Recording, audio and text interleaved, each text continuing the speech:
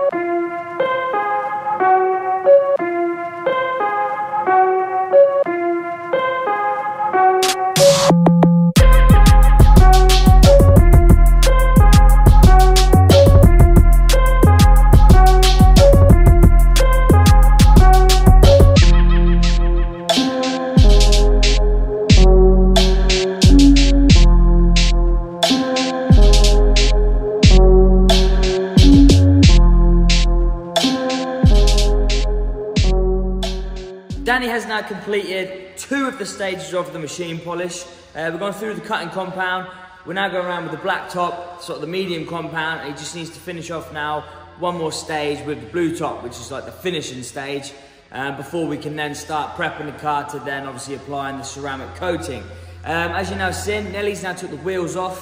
Um, Danny's now going to take them outside, do the full wheel procedure, again get those ready for the ceramic coating to be applied. Coming towards the end now. Hope you guys enjoying the video. Keep watching.